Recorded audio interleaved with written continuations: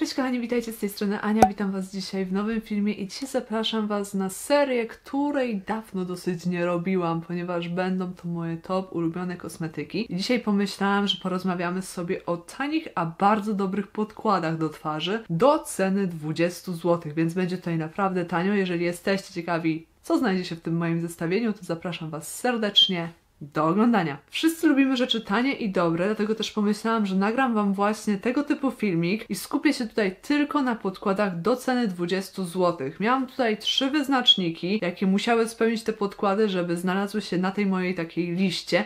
Po pierwsze, muszą być one ogólnodostępne, żebyście je mogli w łatwy sposób znaleźć, czy to stacjonarnie, czy przez internet. Ich cena nie może przekraczać 20 zł i tak też jest w tym przypadku, bo żaden z podkładów nie przekracza tej ceny. Chyba, że jest jakaś nienormalna drogeria, która sobie ustaliła cenę, która jest wyższa, to tam nie kupujcie. No i trzecim wyznacznikiem było to, że mają one się świetnie sprawdzać na cerze i udało mi się znaleźć takie cztery podkłady, o których Wam dzisiaj powiem tutaj w tym filmiku. Ja już mam na swoim koncie dwa filmiki z podkładami, które nagrywałam Wam wcześniej. Pierwszym z nich był film, w którym pokazywałam Wam moje ulubione podkłady. Tu możecie go sobie obejrzeć. Niewiele się od tamtego czasu zmieniło, ale wydaje mi się, że za jakiś czas myślę, że będę robiła aktualizację tego filmiku. Oraz drugi filmik to był z takimi najlepszymi podkładami na lato. Również możecie go sobie tutaj obejrzeć. A dzisiaj skupimy się na tych najtańszych i najlepszych. I od razu Wam tutaj jeszcze powiem, że kolejność, w której ja opowiadam o tych produktach ma tutaj znaczenie. No i na miejscu pierwszym jest tutaj mój ulubiony podkład, który po prostu uwielbiam i jego cena taka standardowa to jest około 17-18 zł,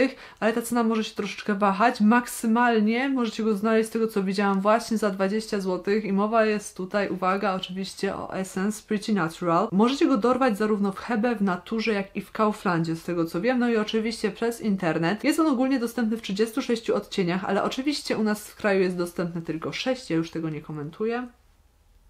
Jest to nawilżający podkład z kwasem hialuronowym, ma długotrwałą formułę, naturalne krycie i daje uczucie lekkości. I to były obietnice tutaj producenta i powiem Wam, że są one tutaj w większości spełnione, więc ja się bardzo cieszę, gdy producent tutaj, wiecie, nie wymyśla za dużo na swoim opakowaniu. To jak ten podkład wygląda na twarzy to jest po prostu jakiś hit. Ja Was odsyłam oczywiście tutaj do filmiku, w którym go testowałam. Tam dowiecie się troszeczkę więcej i zobaczycie też przebitki, bo większość produktów, które Wam tutaj pokażę, były już testowane tutaj na kanale. Oprócz oprócz jednego, z którego testem się spóźniłam i potem uznałam, że nie ma sensu go nagrywać. No jeżeli chodzi o ten podkład z Essence, to on wygląda tak nieskazitelnie na tej twarzy. Jest tak długotrwały, że utrzymuje się przez cały dzień. On zapewnia takie lekko satynowe wykończenie. Ja bym nie powiedziała, że to jest taki stuprocentowy toporny mat. Bardziej właśnie coś takiego naturalnego. Bardzo mi się spodobało to, jak ten podkład wygładza pory, ponieważ zapewnia właśnie taki efekt jakby takiej waszej drugiej skóry. Nie ma tutaj problemu z nakładaniem innych produktów, ponieważ pod podkład ten jakby tak zastyga na waszej twarzy, ale absolutnie nie daje też uczucia ściągnięcia. Ja bardzo lubię też to, że on ze wszystkimi pudrami, jakie mam, czy to są pudry w kamieniu, czy to są pudry sypkie, współgra po prostu idealnie. On się też nie zbiera w zmarszczkach, przez cały dzień wytrzymuje praktycznie w stanie nienaruszonym i też skóra pod koniec dnia nie wygląda na taką, wiecie, zmęczoną tym podkładem.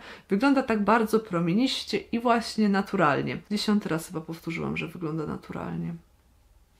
Bez komentarza. Moim zdaniem jest to produkt dla osób niewymagających bardzo mocnego krycia, które lubią długotrwałe formuły z takim naturalnym wykończeniem. Rodzaj cery, do którego on pasuje, myślę, że jest to każdy rodzaj, bo zarówno dobrze się sprawdzi na skórze suchej, normalnej, mieszanej czy też tłustej. Teraz czas na miejsce drugie, na którym znajdzie się najtańszy podkład w naszym zestawieniu. Podkład jest najtańszy, ale ma najdłuższą nazwę. Jest to oczywiście podkład z Bell. Jego cena to około 10 zł i nazywa się on, uwaga, będę recytować, Bell Illumi Corrector Lightning Skin Perfection Makeup Long Lasting. Też Wam go testowałam w takim filmiku, w którym pokazywałam Wam kosmetyki z takiej standardowej kolekcji Bell dla Biedronki, która jest cały czas dostępna właśnie w ich szafach Możecie sobie obejrzeć, jeżeli chcecie. Jest to trwały fluid rozświetlająco-korygujący, dostępny w czterech kolorach. On przepięknie rozświetla, nadaje efekt takiej zdrowej, wypoczętej skóry. Nawilża jest to również taki bardzo lekki podkład do twarzy, moim zdaniem idealny na co dzień, który ma krycie od niskiego do maksymalnie średniego. On naszą twarz przepięknie rozświetla, koryguje też mniejsze jakieś tutaj niedoskonałości, jakie macie na waszej cerze, wyrównuje koloryt w bardzo dobrym stopniu. On już w porównaniu do tego, który który był na miejscu pierwszym podkładu, wyświeca się u mnie troszeczkę szybciej, ale i tak pod koniec dnia wygląda on naprawdę tak, nawet bym powiedziała, że dosyć świeżo na tej twarzy. Nie wygląda ona na zmęczoną.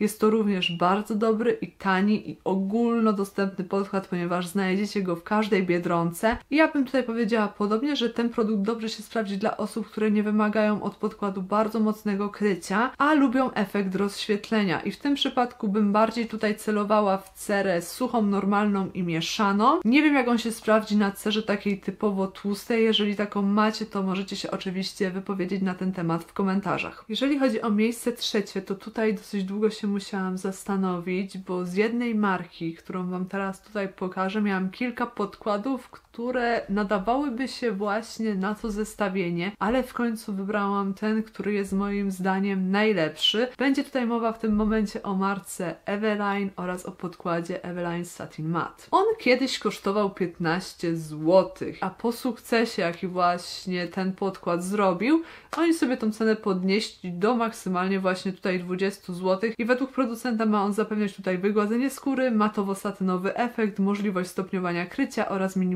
widoczności porów. I faktycznie on tutaj po aplikacji daje taki mocny efekt nawilżenia na waszej skórze. W sumie spośród wszystkich podkładów, które tutaj mam, to on daje ten efekt taki najmocniejszy. Jest taki trochę mokry, bym mogła powiedzieć. Jest to lekki i bardzo komfortowy podkład, dający maksymalnie średnie tutaj krycie. Daje on też efekt takiego lekkiego rozświetlenia tutaj na twarzy. Jego minusem jest to, że on ma znacznie słabszą trwałość niż te poprzednie podkłady, które tutaj widzieliście. Y, on już tak pod koniec dnia na przykład mi schodził tutaj z okolicy nosa oraz brody, już się tak mocno, wiecie, nie trzymał tej twarzy jak te poprzednie podkłady. On też ciemnieje i przez to, że on jest taki właśnie mokry, to w ciągu dnia ja muszę go sobie przypudrowywać, czyli poprawiać, ponieważ bardzo szybko się on też tutaj wyświeca i to są takie główne minusy, które ja mogę zarzucić temu podkładowi. Tak, ogólnie to jest to bardzo dobry również podkład na co dzień i on tutaj moim zdaniem się dobrze sprawdzi dla cery suchej i normalnej. Jeżeli chodzi o moją cerę mieszaną, to tutaj Wam podałam minusy, jakie zaobserwowałam w ciągu dnia. Muszę go po prostu poprawiać, więc dla cery tłustej może być tutaj tak samo i uważam, że będzie to dobry podkład też dla osób, które nie wymagają bardzo mocnego krycia, jakieś większe niedoskonałości, to też nie zostaną przez ten podkład zakryte. A jeżeli chodzi o ostatnie, czwarte tutaj miejsce, to jest podkład, którego ja Wam tutaj na kanale nie testowałam. Jakoś tak przegapiłam całkowicie ten hype na niego. Ja wiem, że niektórzy z Was mi pisali, Ania, przetestuj właśnie ten podkład. Ja to tak miałam z tyłu głowy, ale jakoś nigdy tego filmiku nie nagrałam. I o jakim podkładzie jest tutaj mowa?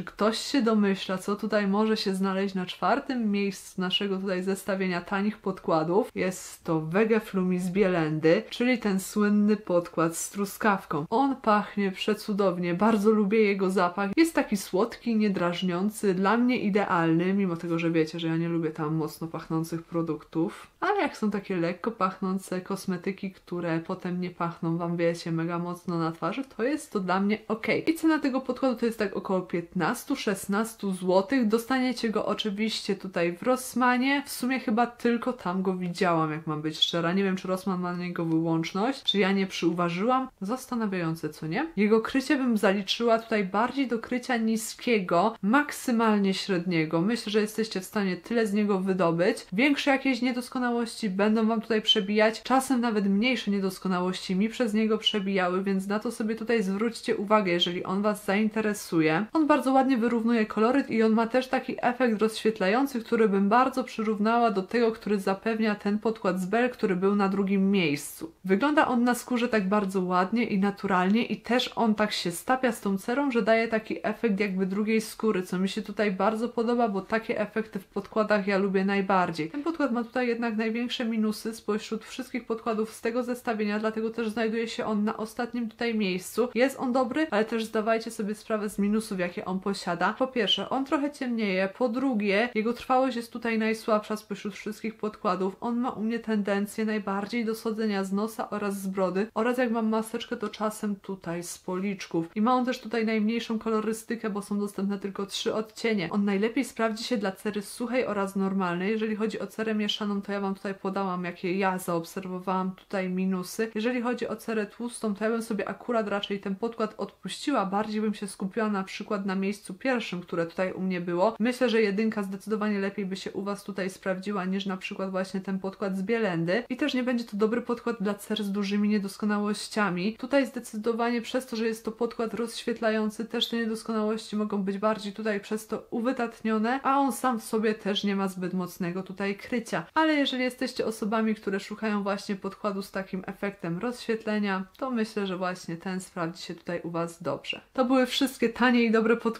do 20 zł, którymi chciałam się tutaj z Wami podzielić. Wy oczywiście możecie napisać, jakie są Wasze ulubione tanie podkłady w komentarzach, a z mojej strony jest to już wszystko. Nie zapomnijcie o zostawieniu subskrypcji, łapki w górę, a także o odwiedzeniu mnie na moich mediach społecznościowych, do których link macie standardowo w opisie. I cóż kochani, do następnego razu. Buziaki, trzymajcie cześć! Mua!